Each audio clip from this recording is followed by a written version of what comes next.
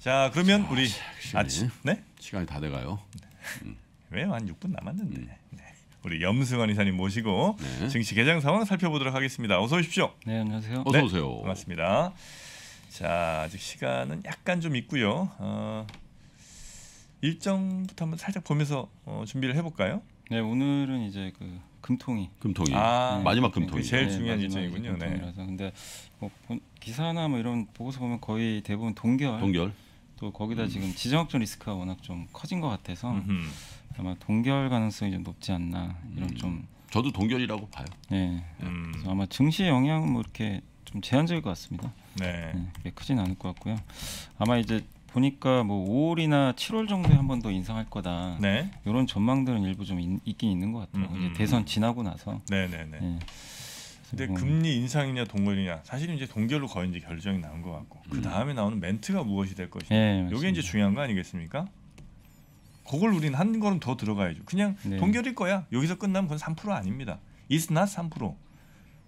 우리는 그 한 걸음 더 들어가 줘야 돼요. 조금 더 deeper, 얘기해봐. deeper, deeper. 예? deeper 얘기해봐. 음 이주열 총재요? 네. 그동안 감사했다고 하겠지. 참 디퍼하다. say goodbye. 난 8년 동안 일했어. 나임 오케이. 내가 3%때 얘기했잖아. 사- 뉴스 3에서 충격적인 얘기 안 하는 게 전통이라고 아, 마지막 그렇습니까? 금통에서는 그냥 온화한 분위기에서 끝낸다. 네, 온화하게. 네. 자 그리고요. 저 한국은행 아또 왜 이렇게 또 헛웃음을 지으세요, 영희사님. 아닙니다. 아침 분위기 아시잖아요. 오늘 올라야 되잖아요. 자 그리고 또 어떤 일정이 있습니까? 네, 그리고 오늘은 이제 미국의 4대, 4분기 GDP 성장률 발표가 있고요. 네, 음, 이제 그 정도가 좀 오늘 이슈고 사실 뭐 사실 이런 이제 지표보단 네. 지금 우크라이나 이슈가 워낙 좀 크다 보니까 음, 음. 그게 사실 이제 오늘 미국 증시가 급락한 것도 결국 노드 스트림 2 이제 제재를 미국에서도 거의 이제 건설업체 좀 규제한다는 얘기가 있더라고요. 네네. 이제 그런 것들이 좀 작용했던 것 같고 뭐 아까도 얘기해 주셨지만 이제 뭐 사이버 테러 음. 또 있었던 것 같고 네네. 음. 예. 아, 기사 우크라이나에 보니- 대한 사이버 예, 테러. 예, 맞습니다. 사이버 테러도 있었고 뭐 자국민 뭐 다 대피령 뭐 음. 이런 것들이 그러니까 전쟁 리스크가 좀 완화되나 싶었는데 네. 아직도 이제 좀 전쟁에 대한 공포가 완전히 가시지 않다 보니까 음, 투자들이 좀 불안했던 것 같아요. 네. 예. 뭐 미국 선물이라든지 아니면 우리 장전 지금 상황은 대충 어떻게 지금 가고 있습니까? 그러니까 오늘은 아마 좀, 좀 어쩔 수 없는 상황인데 코스피가 좀 급락 출발할 아, 가능성 급락 출발이에요? 할 가능성이 좀 일부 있는 것 같아요. 근데 지금은 현재 그러니까 야간 선물로 보면은 오늘 한 30포인트 정도 하락 출발이 예상은 되는데 음. 현재 호가는 그래도 그거보다는 좀 괜찮아요. 마이너스 한 17포인트 정도 좀 하락을 하면서 음. 일단 하락 출발은 좀 불가피할 것 같습니다. 예. 어, 그리고 나스닥 선물 지수는 지금 플러스 0.02% 정도. 네네. 그러니까 큰 변동은 없습니다. 나스닥 아. 선물 같은 경우. 그렇습니까? 예. 코스닥은 음. 코스피보다 조금 더 예상 지수가 안 좋네요. 예. 네, 코스닥은 네. 마이너스 7% 7포인트 정도. 네 네. 음. 예. 1% 가까이 빠지는 걸로 지금 현재 예상 가격은 나오고 있습니다. 아, 이게 업종별로도 좀 더 안 좋은 게 예상 가격이 좀 나오나요 혹시? 지금 그러니까 업종으로 나오는 건 아니고요. 아, 지금 이제 그렇습니까? 기업별로 보면은 기업별로. 일단 오늘 2차 전지 쪽이 좀 출발은 안 좋을 것 같고요. 2차 전지. 이제 아무래도 오늘 뭐 테슬라가 좀 또 안 좋아서 그러니까요. 그 영향도 일부 있는 것 너무. 많이 빠졌던데. 삼, 아, 삼총사. 미국 전기차가. 그 근데 아마 그것 때문이었던 것 같아요. 제가 보니까 그 포르쉐가 IPO를 한대요. 포르쉐? 예. 근데 아 그 지금까지 IPO를 안 했어요? 폭스바겐 거잖아요. 아 그렇죠 그렇죠. 그래서 그 아니, 그것도 이십- 또 자회사 상장이야. 그것도 뭐 물적 분할이 요? 아니, 물적 분할 아니고 원래 자회사 원래 상장. 자회사예요. 아 어째? 네. 폭스바겐. 네, 그래. 근데 폭스바겐 주가는 급등했어요. 아, 급등- 폭스바겐 예. 주가가 아니면 네. 아 네, 폭스바겐 주가가 아, 상장한다고? 네, 상장한다고. 그리고 그걸로 한 20조 조달해 가지고 이제 네. 전기차 투자하겠다. 전기차. 그래서 근데 이제 어. 럭셔리로 나오니까 네. 가장 피해를 많이 이제 경쟁으로 떠오르는 게 테슬라의 고급 모델하고 모델 S랑 음. 루시드 거 있잖아요. 루시드. 네, 네. 루시드가 이제 직접 경쟁 모델이 아. 네. 루시드 주가가 좀 안 좋더라고. 요 타이칸인가? 타이칸? 네 포르쉐 네, 타이칸. 타이칸. 그거 모는 저 아는 사람이 있는데 네. 엄청 좋다는데? 아 좋아요. 어? 아 저는 전시장 가서 한번 봤거든요. 어. 아 너무 예쁘더라고. 아니 자기는 본 거고 그 아저씨는 타고 다니는데 아 너무 좋아. 근데 나는 잘 이해가 안 되는데 포르쉐 왜 타지? 그 기계음 그랑그랑 뭐 이런 것 때문에 타는 거 아니야? 아 그거 이제 그 old. 아니 소리 안 나는 포르쉐를 왜 타지? 아 이거 올드예요 올드. 올드합니다. 투 올드, so 올드. 포르쉐 투 올드라고 하는 거야. Too old. 아. So old. Too old. 뭐 생각나는 건 다 하고 싶은데요. 여튼 그래서 이 포르쉐의 그 감성 음. 여기 당연히 이제 말씀하신 거 아, 엔진은 뭐 이런 것도 그러니까. 있긴 있습니다만 네. 아 그걸 뛰어넘는 아 첨단의 맛이 또 있습니다. 음. 아 포르쉐만 그래서 제가 말씀드렸던 그 모델 S 아 모델 그죠 S죠. 예. 과연 그걸 살까? 난 포르쉐 타이칸을 살까? 가격이 뭐 물론 타이칸 좀 더 비쌉니다만 음. 나는 타이칸 사겠다. 장시작했어요. 네. 장시작. 자, 이제 30초 정도 남았는데 현재 코스피는 1% 가까이 좀 빠질 것 같습니다. 마이너스 25포인트 음. 정도 지금 나오고 있고요. 그리고 코스닥 같은 경우는 마이너스 7.9포인트, 그러니까 8포인트 정도. 그래서 거의 1% 가까이 좀 하락하면서 음.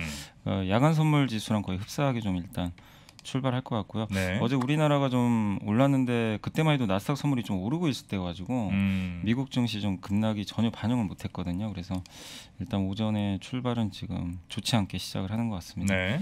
그래서 지금 호가들이 나오고 있는데 현재 SK하이닉스가 마이너스 2%, 마이크론이 한 4% 가까이 좀 빠져서 음. 오늘 영향을 받고 있고요. 그다음에 삼성전자가 마이너스 1% 정도 빠졌고 삼성 SDI가 마이너스 2% 정도 아. 지금 하락세를 좀 보이고 있습니다. 그래서 네네. 거의 뭐 대부분의 시총 상위 기업들이 다 일제히 좀 빠지고 있고 그 오늘 오르는 거는 근데 그 페노션이 좀 오르고 있고요. 효성 TNC가 어제 정말 엄청난 공시를 냈더라고요. 효치? 배당 배당금이 굉장히 많아요. 뭐 그래서- 5만 원이가 준다면서요? 네, 그래서 시가 배당률로 9%가 넘습니다. 와. 네. 그러니까 이제 주가가 오늘 또 반응을 하는 것 같아요. 와.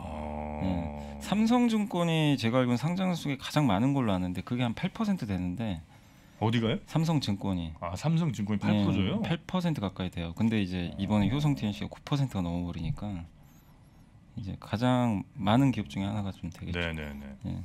그러니까 이게 주주 친화적으로 이렇게 확실하게 쏴주는 기업들은 음. 시장이 좀 반응을 해주는 것 같아요. 네네. 그래서 오늘 효성 TNC가 플러스 3% 음. 일단 주가 오르고 있고 그 다음에 오늘 어제 조선주가 좀 좋았는데 오늘도 괜찮습니다. 오늘도 삼성중공업, 현대중공업 출발이 괜찮고 네. 그 아까 뉴스를 보니까 그 브라질의 이제 브라질의 이제 국영 에너지사가 음. FPSO라고 해양 플랜트 있잖아요. 그렇죠. 저걸 발주를 재개하나 봐요. 음. 음. 해양 플랜트는 거의 우리 한국이 동무대였잖아요, 과거에. 음. 그래서 옛날에 이제 삼성중공업 그것 때문에 피해를 많이, 많이 봤죠. 예, 뭐 굉장히- 동무대였는데 독박 썼죠. 네, 독박 썼죠. 독박 쓴 동무대지. 아유 F F F 자만 들어도 네, 맞아요. 그냥 경기를 해. 근데 브라질에서 아마 그 발주한다는 얘기가 좀 나오면서 네. 이러면 또 삼성중공업이나 뭐 조선주에 또 모멘텀이 될 수 있다 보니까 역시 할 수 있는 나라는 우리나라밖에 없어요. 그러니까. 한국밖에 없다 보니까 아, 아, 그럼 돈을 좀 많이 주니까. 어. 어? 우리나라 3사가 경쟁해서 그러는 거 아니까 예. 이게. 아. 어? 네네. 배우가 하려 그러면 삼중이 가서 아, 우리가- 디스카운트. 네 맞아요 어? 맞아요 예, 예전에 예를 좀 들면 예를 게든좀 거예요. 있어요. 50원 깎아드릴게요, 뭐 이런 거. 네. 네. 그래서 그런 좀 뉴스도 있어서 요새 조선주에는 좀 훈풍이 계속 부는 것 같고요. 음. 그리고 한국가스공사가 오늘 한 2% 역시 뭐 천연가스 가격이 지금 어, 또. 급등을 해가지고 여전히 이제 원자재 가격이나 LNG 이런 네. 관련 기업들이 좀 좋은 모습이 계속 이어지고 있다 이렇게 보시면 되겠고 그 외에는 이제 거의 다 하락을 했고요 하이닉스가 가장 많이 빠지고 음. 있고 대우조선해양은 어제 어제 좀 너무 많이 올랐었죠 하루에 한 20% 오르다 보니까 오늘은 일단 오전에 좀 밀리고 어, 있습니다. 20%나 올랐어요. 네, 어제 20%가 넘게 올랐더라고요. 한조양은 한국조선해양은 한조양? 한 어떻게 7% 정도. 7%? 올랐어요. 네. 네. 야, 아, 세배 차이 나네. 그러니까 LNG 선에 대한 이제 좀 기대감으로 네. 대우조선에 좀 높은 점수를 주는 것 같더라고요. 어. 또 그리고 그런 것도 일부 있겠죠. 이제 공매도 좀 환매 물량도 네. 저런 뉴스가 나오면 이제 음. 공매도 쳤던 쪽에서 좀 급해지거든요. 음. 그래서 급하게도 환매 들어오면 이렇게 또 오버스팅하는 경우도 네. 일부 좀 나오긴 합니다. PBR 기준 한조 회가 가장 또 음. 가격이 매력적입니다. 음. 가장 저평가는 돼 있다고. 네. 딴데다 네. 1점 몇 배 뭐 이렇게 될 때 여기만 0.6배인가 그래요. 네. 여러분 참고 사항으로 알려드립니다. 네, 그래서 오늘 일단 근데 대우조선 오늘 좀 밀리고 있고 어, 삼성 SDI, 뭐 삼성 전기, 삼성 엔지니어링, 삼성 그룹주가 좀 동반해서 좀 밀리고 있고요. 그 외에는 뭐 대부분 한 1% 가까이 좀 하락하는 그런 흐름들이 일단 나와주고 있습니다. 그래서 코스피는 현재 마이너스 33포인트, 음. 1.1% 정도 지금 하락을 하고 있고요. 네. 어제랑 뭐 거의 정반대입니다. 그래서 상승 종목은 134개, 하락 종목이 689개고요. 코스닥 같은 경우는 9포인트 마이너스 1%인데 하락 상승 종목이 218개, 하락 종목이 1,094개로 음. 뭐 거의 대부분의 기업들이 일단 하락을 하고 있습니다. 그리고 오늘 코스닥에서는 그 YG엔터하고 SM 주가가 좀 그래도 좀 올라가고 있는데 네. YG엔터가 실적이 좀 되게 잘 나왔더라고요. 네. earning surprise 나왔는데 보니까 이제 애널리스트들이 추정한 것보다 너무 잘 나온 거예요. 근데 그 원인을 좀 알아보니까 음. 그 YG 인베스트먼트라는 투자 회사가 있더라고요. 네. 여기가 이제 제페토 투자를 좀 잘해가지고 음. 거기 투자 수익 한 80억이 일회성으로 좀 잡힌 것 같아요. 음. 그게 좀 있었고 그리고 보통 이제 이런 엔터사나 뭐 다른 회사들도 모르겠는데 유튜브 실적을 네. 9월 치를 보통 한 달 후로 lagging 반영을 한대요. 그러니까 음. 10월 달에 정산을 한대요. 9월 치를 음. 보통은. 아. 근데 맞아요. 이제 회계 그 법인에서 좀 공고를 했나 봐요. 9월 거를 9월에 정산을 해라. 음. 그러니까 이제 미리 예정을 해가지고 어느 정도 예상을 해서. 아 왜냐면 예정할 수 있는 게 네. real time으로 유튜브가 알려주거든. 네. 그 admin 화면에 가면은 아. 28일치 네네네, 맞아요. 얼마 네. 딱 이렇게 나오고 있어요. 네. daily로 뭐 거의 시간별로 나오니까. 네. 그래서 이제 그거 그 부분을 이제 한 달 후로 반영하는 게 아니라 이제는 음. 한달 전으로 이제 그러니까 한 달 그 그걸로 직접 반영을 해버리는 거죠. 네네. 그래서 이번 분기에는 그게 좀 더 들어갔대요. 그래서 음. 그래서 실적이 좀 아, 잘뭐 나왔다. 유튜브 수입이 많아요. 거기가. 유튜브 수익 블랙핑크가 아, 구독자가 어마어마하거든요. 블랙핑크는 하나, 하나 올리면 그냥 억이에요. 억 단위로 가요 네. 거기는. 100만 단위가 아니고. 아 100만이 뭡니까? 아, 거긴 그냥 블랙핑크 저 안녕하세요 이렇게 하면 1억. 예, 그래서 노래 뭐 뚜루뚜루뚜 하면 3억 뭐 이렇게 가는 거예요 그냥. 아, 예. 뚜루뚜루가 뭐야? 아 뚜루뚜루는 노래가 있어요. 있어? 네. 블랙핑크. 그럼 저거 아니야? 아기상어? 아니 그건 아기상어 뚜루뚜루는 딴 거고요.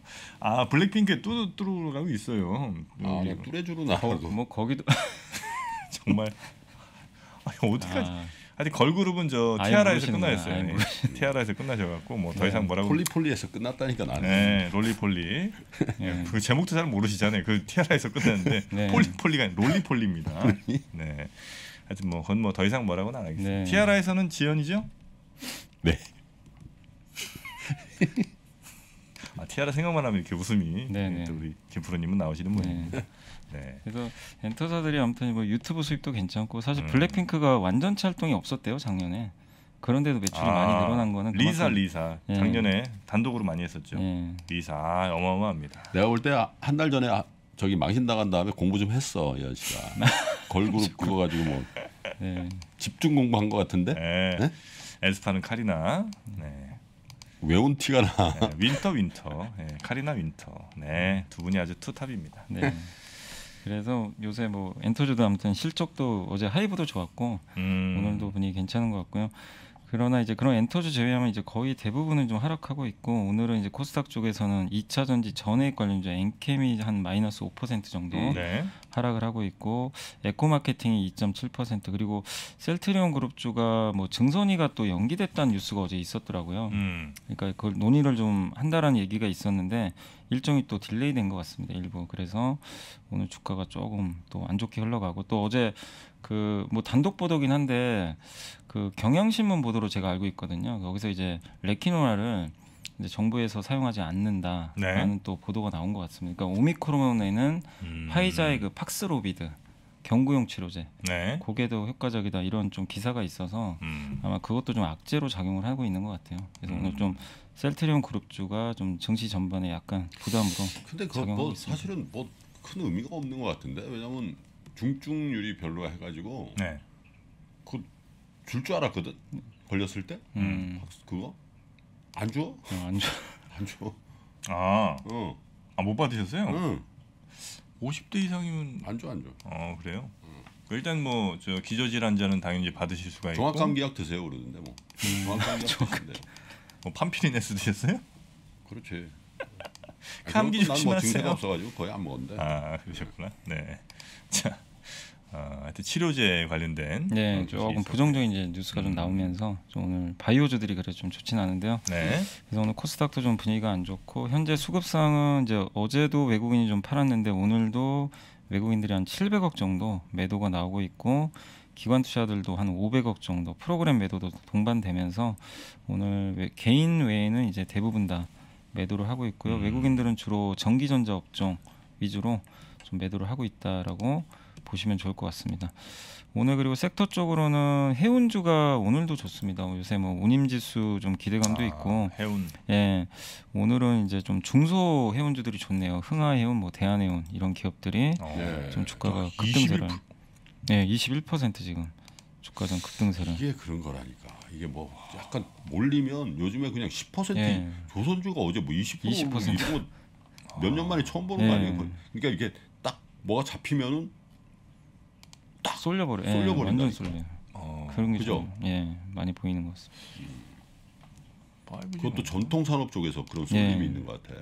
무거운 회사들이죠, 사실 이게 예. 굴뚝주들은. 예. 음, 그리고 장이 오늘도 뭐 이런 에너지 주들 오늘도 강하고요. 뭐 음, 이렇게 네. 뭐 가- 도시가스나 또 사료업체들도 그러니까 한마디로 지금 시초, 이게 올라가는 섹터들 보면 전쟁 리스크에 대한 수혜주들 네. 위주로만 지금 주가 좀 올라가는 모습이 좀 확연하게 음. 드러납니다. 뭐 농업주도 좀 강하고요.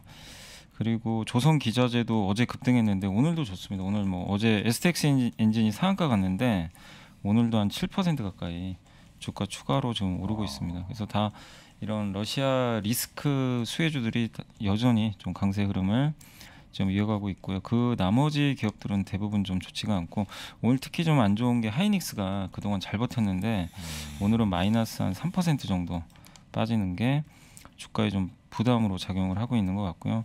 IT 업종 전반적으로 LG 전자는 괜찮은 것 같아요. 음. 1.2%. 네. LG 전자를 제외하고는 대부분의 IT 섹터가 다 밀리고 있고요.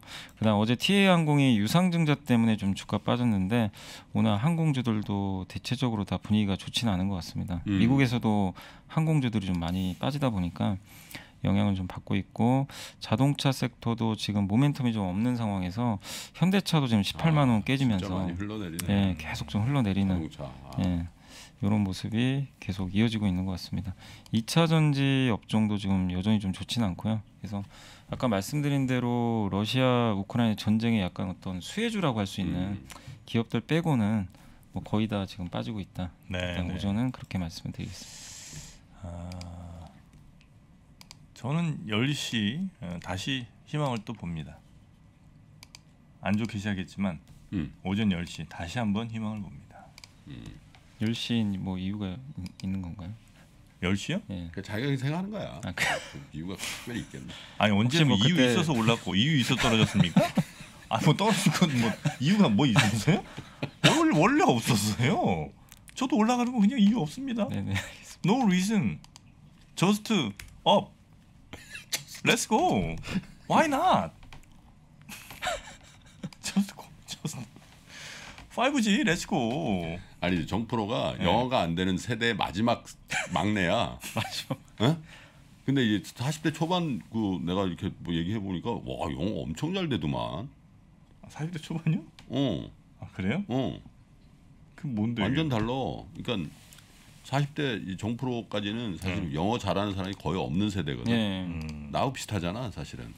근데 지금 이렇게 영어를 막 이렇게 하는 거 그렇지, 보니까 진짜 저는 진짜 애잔하다. 아 우리 고등학교 영어 선생님이 어, 저 당진 분이신가 그랬거든요. 그래서 에5 years ago 음, 이런, 이런 스타일이신 거예요. 음. 그래갖고 와 정말 영어 공부를 할 수가 없었어요 저는 뭐 선생님 탓하면 안 되긴 하지만 정말 너무 우리 때는 그 그분이 이제 일본 저 시대 일제시대 학교 다니신 분이거든요. 예전에 다 그랬어. 그래갖고 네? 아 너무 근데 또 항상 그러잖아. 영문과 나온 내 친구한테 너 어떻게 영문과를 하는데 영문을 모르니? 음. 아, 요거는 아 영문 몰랐다 이거죠. 네, 아, 영문이 없어. 요거는 좀 우리 증권가에서도 보기 좋은 계획은 아닌 거죠. 이런 거 정도는 우리 이베스트 예, 염성환 이사님께 제가 대신 좀 사과를 드리겠습니다. 네, 내 대신 네가 사과를 해. 아, 제가 책임질게요, 형님. 괜찮습니다. 형님은 그냥 하시던 거 하고 싶으신 거 다 하시고 제가 대신 사과드리겠습니다. 자, 봐봐요. 벌써 낙폭이 좀 줄어들고 있잖아요. 음. 낙폭 줄어들고 있잖아요. 예, 지금 9시 13분 낙폭 음. 줄어들고 있습니다. 자, 그러면 리포트도 한번 보면서 또 약간 한번 시간 때워 보겠습니다. 네, 어, 그 어제 나 이제 매크로 리포트 좀 많이 나오긴 했는데 메리츠 네. 증권의 황수석 애널리스트가 일단 이제 과거 인플레 시기 미국 주식시장 이제 영향 환경 분석을 좀 했는데 음. 그게 좀 시사하는 게 있어서 그냥 요약만 좀 해드리면 일단 메리츠 증권에서는 전쟁 리스크만 장기화되지 않는다면 음흠. 추세적 조정은 좀 아닌 것 같다. 네. 그리고 여전히 그 연준의 지금 가이던스가 제대로 안 나왔는데 음. 3월 FOMC가 지나고 나면 좀 구체적으로 긴축 경로가 나오니까 음. 좀 우려가 완화되지 않을까 이렇게 보고 있고 지정학적 리스크가 완화되면 이제 1분기에 좀 인플레이션은 좀 고점이 아닐까 네. 그래서 좀 안정화 단계로 예상을 음. 했고 다만 이제 명백한 건 뭐냐면 고물가는 지속된다는 거예요. 어쨌든 음. 이게 뭐 인플레가 꺾인다고 해서 고물가 시대가 저무는 게 아니라 인플레와 금리 인상은 이제 앞으로 이어진다. 요 환경이 과거에도 여러 차례 미국에 있었다고 합니다. 그래서 음. 그런 사례 분석이 있었는데 1970년대에는 이제 스태그플레이션이 진짜 발생을 해서 음. 오일 쇼크 때문에 당시에 어, 그때 S&P 500 지수가 반토막이 났었어요. 당시에. 반토막. 네, 반토막 났습니다. 음. 근데 그리고 나서 다시 이제 주가가 회복이 좀 되긴 했다고 합니다. 네. 어느 시점 후에는. 근데 그 배경은 역시 경기가 좋았기 때문에 음흠. 음. 회복이 됐다. 그리고 81년도에도 2차 석유 파동에서 촉발된 이제 고인플레 때문에 당시에 미국 금리가 20%까지 올라간 적이 있었거든요. 음. 그리고 나서 경기 침체가 진짜 발생했는데 이제 레이건 대통령 들어오면서 아. 그 레이건 오믹스라고 그러잖아요. 그렇죠. 그래서 경제를 이제 활성화 시켜버렸죠. 음. 그래서 주가 또 올라갔고 그 다음에 이제 94년도에 경기 과열 때문에 금리를 올렸는데 그때 10% 조정 나왔지만 95년도부터 이제 IT 기술 그 네. 버블장 나왔잖아요. 99년도 말까지. 그렇습니다. 예. 그래서 이런 것들을 이제 종합을 해보면 뭐 음. 금리 인상을 하고 인플레 시기에 주식 시장이 폭락했던 이제 추세적으로 음. 폭락했던 시기는 그때 오일 쇼크 70년대 네. 그때 당시였고 그리고 다 이렇게 초반에 초반에는 다 급락했대요 대부분. 네네네. 근데 올라갔던 배경은 결국 경기가 더 좋았다. 음흠. 경기가 회복됐다. 그래서 여기서 시사하는 거는 어쨌든 하반기에 경기에 대한 기대감이 있어야 증시가 당연히 인플레랑 금리 인상을 뚫고. 네. 회복이 될 수 있는데 만약에 매크로 지표가 계속 악화되면 네. 어렵다는 거죠. 이런 상황이 계속 이어질 그러니까 스태그플레이션 우려가 계속 커질 수 있으니까 음. 그래서 앞으로 지금 뭐 러시아 리스크가 너무 큰 건 사실이지만 투자하시는 분들도 체크할 건 이제 경기 선행 지수나 이런 지표들도 음. 면밀히 봐야 될 것 같은데 이런 게 좋아진다면 결국에 이제 너무 걱정할 필요는 없다. 네. 네, 그런 거니까 한번 음. 체크를 하시면 좋겠고 같은 증권사 이제 이준우 연구원님이 성장주 단기 반등 국면은 좀 진입한 것 같다라는 음. 이제 전망의 보고서인데 음. 어제도 좀 성장 물론 이제 미국은 좀 빠지긴 했지만 최근에 성장주들이 좀 단기 반등 국면에 진입한 것으로 좀 보고 있고요. 다만 이제 이 기업들이 계속 올라갈 거냐 여기에 대해서는 좀 의문부호가 있대요. 그 뭐냐면 줌의 PER이 28배까지 떨어졌대요. 네네네. 근데 코스트코가 37배. 그러니까 가치주가 좀 아. PER이 더 높아요. 이게 좀 역설적이긴 한데 줌, 줌이 스물 8배까지 떨어졌다고 합니다. 아, PR 이. 그래요? 예. 음. 근데 코스트코는 전통 그 유통주잖아요. 네네. 근데 여기가 37배나 되니까 아? 역전 현상이 발생했기 음. 때문에 음. 성장주들의 이제 거품은 좀 해소된 것 같다. 네네. 이런 상황인데 근데 계속 갈 수 있을 거냐 이건 좀 의문인 게 왜냐하면 줌의 예상 매출 성장률이 앞으로 33% 정도로 예상하는데 낮은 건 아닌데 음. 지난 2년간 100% 이상 성장을 했대요 매출이. 아, 근데 이제 30%면 이제 성장 방향성 꺾인 거 아니냐 그러네요. 이런 의구심이 있고 코스트코는 지난 2년 동안 10% 매출 성장했는데 올해는 20%로 레벨업이 된대요. 그러니까 음. 이제 고평가는 좀 된다 하더라도 아, 매출 성장에서 근데 줌이 되게 우리한테 편리함을 준 거지 사실. 예, 좀 편리함. 뭐줌 외에도 있는데 근데 그것도 진입 장벽이라는 게 어, 음. 그죠? 사실 뭐 뭐 하면 되죠. 화상 네, 화상 네, 채팅 아니고 화상- 하면 되는 거 화상 아니야? 예. 그죠. 물론 그걸 깔아놓고 이제 인프라가 딱 구축되면 음, 이제 네트워크 좀 하는데 있겠지만 그 정도로 뭐 매력적인 예. 예? 그러니까 이제 음. 그, 그 김포님 말씀대로 이런 성장주들이 지금 빠져서 저평가 구간으로는 들어왔는데 음, 이런 경제적 해자라 그러잖아요. 그러니까 음. 그게 유지될 거냐. 예, 이거죠. 그런 예. 것 같더라고. 그게 안 되면 근데 코스트코는 이제 그런 의구심은 없잖아요. 음, 비싸다 하더라도 음, 그 얘기를 좀 하고 있는 것 같아요. 네네. 그래서 성장주가 다시 추세 회복이 가능하려면 옛날에도 아마존이 반토막 났다가 음, 회복된 게 매출 성장을 보여줬대요. 테슬라도 마찬가지고. 음, 그래서 성장주 투자하신 분들이 많이 빠졌다고 무조건 그냥 낙관을 하기보단 매출 성장이 나올 수 있느냐 없느냐 음. 향후에 네네. 이게 좀 관건인 것 같아요. 음. 그래서 그게 해자가 없는 기업들은 네. 음. 좀 힘들 수밖에 없다. 그래서 성장주도 잘 좀 구분은 좀할 음. 필요는 있는 것 같습니다. 네. 예. 자 리포트는 이 정도 볼까요? 네, 그 정도. 네, 그 정도. 사실 어떤 의미에서 전통 산업 쪽에 네. 어제 뭐 조선주가 많이 올라서 제가 이런 데서 네. 드려. 야, 저건 해자가 있네 이런 생각이 드는 게 누가 그 기술력이 있는 데서 나 조선소 짓겠다는 사람이 있나? 아, 없죠. 없잖아. 없어, 없죠. 네. 아, 미국에 이러면 나도 나- 음. 야 조선, 조선 오팡 좋냐? 나도 조선소 한번 해볼게. 애저녁이 없거든. 네, 안 되죠, 안 되죠. 근데 그 유일하게 있는 게 이제 중국인데 저 중국 애들도 저게 줄이면 줄였지 더 늘리진 않는단 말이야. 음, 그죠? 그래서 그런 측면에서 우리나라도 이제 뭐 한조 대우조선해하고 합병하려는데 합병 안 시켜주면 또 팔려 그러잖아. 네. 그럼 원래는 원래는 기업을 팔 때 있잖아. 해외 팔아야 되거든. 음, 그게 대부분 네. 케이스인데 누가 한국 와서 대우조선 해양을 사서 거기서 경영을 음. 하겠어. 음, 아예 없다니까. 네, 네. 그런 측면도 좀 있는 것 같긴 해. 네. 조선업이 음. 오히려 그런 해자 같은 거 기술적 해자 가 별로 없는 것 같지만 사실은 음. 누구도 하기 매우 어려운 음. 네, 엄청난 장치 산업이고 중국하고 이제 유일하게 경쟁인데 그렇지 유일하게. 중국은 이제 고부가 가치 선박을 못- 잘 못하니까. 해자. 네, 네, 네. 네. 일본도 사실 일본이 최강이었는데 이제 일본이 몰락해 아 버리잖아요. 그렇죠. 음. 일본이 완전 몰락. 네. 뭐 스미토모니 뭐 예? 네. 데들. 조선주 같은 경우는 특히 이제 그 어떤 그 인력 맨파워가 굉장히 중요한 거죠. 그 어떤 뭐 10년 이상의 경력이 있는 또 무슨 용접의 아주 그 달인 분들 이런 분들이 다 모인 데가 조선주 아니겠습니까? 그렇죠. 네. 그런 것들도 어, 한번 생각을 해봐야 되겠습니다. 자, 하여튼 코스트코의 어, PER이 줌보다 오히려 더 예, 오히려. 더 올라갔는데 네, 그런 주가는 오히려 더 좋은. 음, 계속.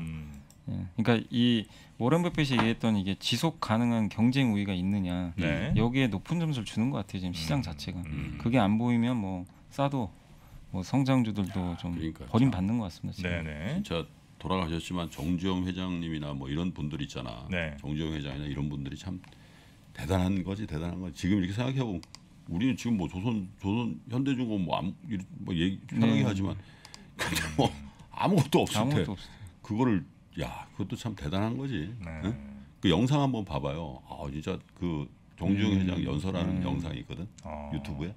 연설 응. 그뭐저 회사 구성원들 대상으로 아니 아니 뭐 중앙대학인가 어, 가서 이제 연설하고 그런 게 있는데 네. 감동이더라고. 아 그렇습니까? 음. 네. 아, 뭐 공가가 있긴 있어도 네. 음, 그런 창업가 마인드 그건 참 배울만한 것 같아. 네. 요즘에 진짜 창업하는 젊은 분들 많으시더라고요. 음. 그분들 나중에 뭐 50년 후에 또 어, 멋진 또 기업인들이 많이 좀 음, 나오기를 바라겠습니다. 아 그래서 내가 유튜브를 하나 할까 생각해.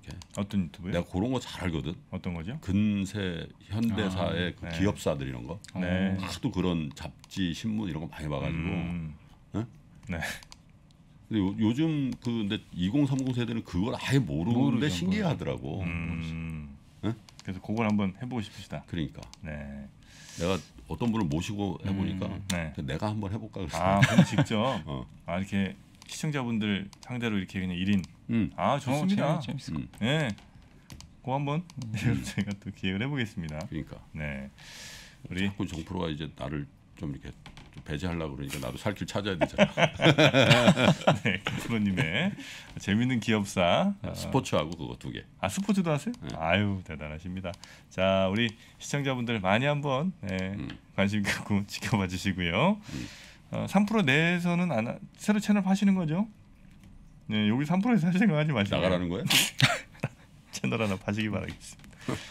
자 오늘 어, 다시 한번 시장 지금 상황 살펴보. 어이구 아까보다 조금 더 네, 좀 더 밀려 그랬어요. 밀렸네요. 1.2% 정도까지 낙폭이 좀 커졌습니다. 어, 뭔 일인지는 잘 모르겠습니다만. 자, 하여튼 에, 오전 10시. 특별히 뭐 지금 뉴스가 나온 건 없고요. 아, 그렇습니까? 나스닥 선물이 좀 밀리는데 뭐 많이 네. 밀리는 건 아니고요. 음. 아마 좀 수급도 좀 악화되고 지금 음. 뭔가 좋아지는 뉴스가 좀 없잖아요. 네네 네. 그래서 좀 다시 밀리는 좀 분위기 같습니다. 네. 그리고 참 우리 저 영사님 같은 분이 가까이 이렇게 계시다는 것 자체 그리고 우리 시청자분들을 매일 아침 만난다는 것 자체 큰 행운인 것 같습니다. 음. 뭘, 뭘 즉석에서 여쭤봐도 그냥 늘 이거 공부를 엄청 하시니까 음. 특별히 뭐 어, 모르시는 것도 없고 그냥 저희 불안함 모른다는 게 결국 불안 아니겠습니까? 그 불안함을 늘 좀 잘 채워주신 것 같아서 매일매일 뵙습니다만 매일매일 감사합니다. 아유 아닙니다. 예, 감사합니다. 영상 이사님. 자 그럼 오늘 어, 증시 개장 상황 요 정도로 아, 요즘 들어서 게스트 분들 많이 챙긴다. 제가요 어, 이제 정라인과 김라인이 확실히 이제 갈리기 시작하는 거. 많이 챙겨. 내 식구 챙기 어? 필수 게스트들은 제가 예 한번 우리 어 저기 써 있잖아. 정프로 잘 나갈 때 겸손하고 조심하라고. 저요? 어. 잘 나가 본 적이 없는데 무슨 말씀이세요? 아 지금도 아직 겸손할 때 아닙니다 전. 네 조금 더 건방져도 괜찮아요. 네. 아, 그리고 또 3%가 물적 분할해서 되겠냐? 씨. 여기 안에서 해야지. 아, 어? 물적 뭘 또 파? 그냥 여기서 해야지. 알겠습니다. 그러면 어, 우리 김프로님의 새로운 컨텐츠 어, 한번 기, 아 그런 컨텐츠도 좀 좋은 것 같긴 해요 진짜 이렇게 딱 그냥 얼굴 하나 김프로님 얼굴 아니. 왜냐면 우리는 당연히 알고 있는 건데 음. 그 우리보다 한 10살 20살 어린 분들 있잖아. 네. 그런 분들은 모르더라고 그거를. 삼성의 음. 삼성의 그 성장 과정에 있었던 일들 뭐 효성과 네. 분리된 얘기 뭐 어? 음. LG와 GS 이건 어떻게 동업을 음. 했고 이런 것들 있잖아. 어? 그죠. 그죠? 현대 그룹은 현대 그룹이 지금 우리가 모르는 것도 되게 많거든. KCC도 현대 그룹이잖아 원래. 네. 현대 현대건설 그룹. 그 이제 문제는 그걸 이제 궁금해할까가 문제죠. 아니 근데 재밌어 하더라고. 누가 모르지 그거는. 재밌어 하더라고. 그건 모르지. 아니 그러니까 왜냐면 내가 찾아봤어. 그러니까 그런 거에 조회수가 굉장히 많이 나오더라고. 아 그래요? 어 어. 그런 거. 아, 근데 맞아요. 내가 보니까 음. 뭐 별게 없어. 솔직히 나로서는 다 아는 얘기야. 야, 손흥민 별거 없어. 뭐뭘 차? 내가 차도 그거보다 낫겠다. 이런 분들 사실 어, 우리 축구 강남객 아니지 손흥민은 언터처블이지. 손흥민. 알겠습니까? 아유, 네. 손 소닉을 지금 아니 이제 뭐 보시기엔 또 쉬울 수 있으나 또 아니 아니 또 쉽지. 않습니다. 아 근데 그 기업사라든지 근현대사 있잖아. 음. 그 이제 야사 비슷한 것들인데 어, 어. 너무 너무 우리한테 상식인데 그게 막 열광하는 사람들이 있다니까. 어, 아, 해달라는 분들이 진짜 너무 많습니다 어, 지금. 맞아요. 그래 약간 경쟁력이 있겠더라니까 또 네, 네, 네. 내가 또 이렇게 그 옛날 신동아 조선 아, 뭐 월간 조선 이런 거 있잖아. 네. 옛날에 그거 많이 봤거든. 아, 그거 다 또 데이터 입력이 돼 있으니까. 그러니까. 네. 근데 저와 며칠 전에 이제 저희 팀원들하고 밥을 먹었는데 네. 이제 좀 젊은 친구들 있잖아요. 응. 음. 근데 이제 갑자기 이제 예전 얘기를 하다가 응. 이 정유 우리나라 정유회사가 지금 이제 몇 개 없잖아요. 음. 근데 예전에 이제 유공 아시죠? 유공. 유공. 유공. SK SK잖아요. 이노베이션이잖아. 음. 전혀 모르더라고요. 아. 아예 이 유공이 유공이 뭔지를 모르고 이게- 이 연결이 안 되는 거예요. 유공이 한국 석유공사가 유공이에요. 네. 네. 어? 그걸 이제 SK 그룹에서 그때는 성경이지. 네. 성경에서 그거를 샀는데 그뭐 그때 이제 사실은 뭐 이 정치적인. 네, 뭐 그런 게 있겠지. 근데 샀는데 그걸 이제 유공으로 이름을 네. 바꿨고 그 다음에 SK 저기 이노베이 SK, 예. 아니지 SK 이노베이션도 그 전에 또 있죠. SK 뭐다 네. 에너지, 에너지, SK 네, 에너지로 SK 바꿨는데 여기 교보증권 빌딩 있잖아요. 음. 그게 유공 빌딩이야. 음. 까만 빌딩 있잖아. 음. 그 앞에 우리가 있었잖아. 에스트레뉴. 네. 네. 거기 그게 우리나라에서 가장 큰 주유소 자리야. 음. 유공 치칼. 음. 야. 근데 그 주유소 자리인데 네. 그래서 내가 거길 들어간 거야. 어. 왜냐면 들어보니까 네. 거기 주유소 자리에서 한 번은 불처럼 일어난다더라고. 어. 아, 그런 게 있어. 그래서 3%가 100만 넘어간 게 거기잖아. 야, 고 얘기하시는 한 4분여 동안 3천 명 빠졌습니다. 아이고. 아니 그거 야, 원래 원래 빠, 원래 야 빠지 원래 빠지는 시간이야. 죄송합니다, 여러분. 원래 5천 빠졌어. 아유. 참. 예, 참. 옛날 얘기. 예. 그래서 잘 사실. 네. 지금은 삼성전자가 넘버원 기업이지만 음. 그때 솔직히 얘기하면 음. 유공의 음, 어. 그 인적 자원들 있지 음. 최고였다니까. 아. 월급이 두 배였어. 아. 실제로 LG 칼텍스도 두 배, 유공도 네, 두 네, 배, 음. S-오일도 두 배. 음. 쌍용정 유주 옛날 네. 네, 네, 네. 다두 배였다니까. 아유. 그래서 네. 최고의 인재들이 유공 같은 데를. 음. 음. 옛날 얘기 너무 재밌죠. 네. 아 진짜 영혼 없네 진짜. 네, 아 근데 진짜 그런 콘텐츠는 좀 필요한 것 같아요. 음. 네, 그래서 아, 우리 김프로님이 어, 저희가 잘. 꾸며갖고 약간 좀 이렇게 아, 이- 이런 너무 밝은 분위기 말고 조금 음, 야, 지금 거의 9시 반 됐는데 4만 3, 4만 4천 명 계시잖아. 이, 정, 이 정도면 평타 이상이야. 알겠습니다. 네. 자 오늘 함께해 주신 우리 이베스트 투자인권의 염수환 이사님 예. 아, 저희 잡담까지 들어주시느라 너무 고생 많으셨고요. 내일 아침 뵙겠습니다. 네, 감사합니다. 네, 고맙습니다. 아니 다 른 거 좀 보여주세요. 다른 것도 다 네. 마이너스 대충 파란색은 보셨잖아요, 그죠? 예, 여러분 좀 보셨잖아요. 약세장 만나니까 대응하기가 쉽지 않으시죠? 안녕하십니까 강원국입니다. 자산 배분 전략의 달인 이 강환국 작가가 속 시원하게 해결해 드리겠습니다. 가장 중요한 거는 이렇게 투자를 하면은 최악의 순간에도 그 10에서 15% 정도 손실 보고 끝난다 뭐 이런 겁니다. 하락장에서의 손실은 제한적으로 그 사실 복리 15%가 아무것도 아닌 것 같은데 네. 이렇게 하면은 원금이 4, 5년에 한 번 더블이 되고 50년 동안에 1000배 이상이 되는 거를 볼 수가 있습니다. 복리의 마법으로 수익은 길게 강환국 작가의 자산 배분 전략과 함께 성공 투자하시기 바랍니다.